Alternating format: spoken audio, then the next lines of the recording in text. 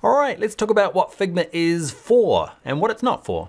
Um, it is amazing at rapid prototyping of things like websites and apps. Okay, it does do other things, which we'll cover a little bit, um, but it is the main tool of a UX or UI designer, okay? And their role in the creation of either wireframes, which we'll do in this course, okay, of really quick kind of look and feel for an app or a website, through to kind of like really like it looks exactly like a website, high fidelity mockups of this website with interactivity as well. Okay, and this kind of leads me to where it doesn't do. You can make something that looks very like a website, enough so that you can go out to testing. And that's probably the, the, the best bit about Figma and UX in general, is that we'll create something and then we'll actually be able to get it in the hands of the client, uh, the intended audience, okay, our customers, and they can, it's not gonna be complete, okay? But they'll be able to use it enough that we can make some observations and actually test some theories about what, you know, they think, um, that, you know, what the users want. And if things need to be changes, we can change them really quickly in Figma and then get them back to them, like why they're sitting there.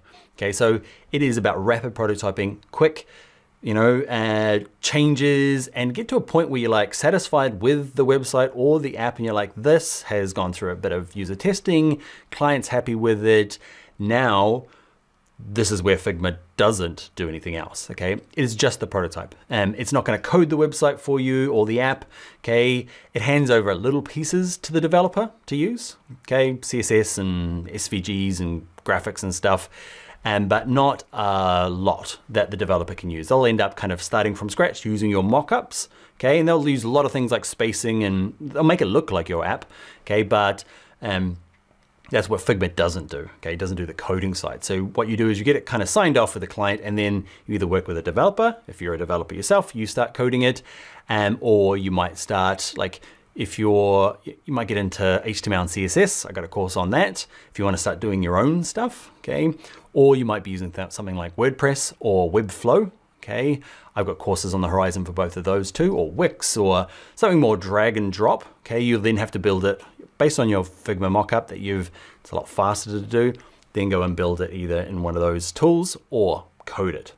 So that's what it is rapid prototyping, okay? And what it's not is you're not gonna have a complete site at the end. That's a question I get asked a lot, so. Next video. Actually, I forgot one thing. don't go away. Editor, don't cut it. Uh, what else is it getting used for?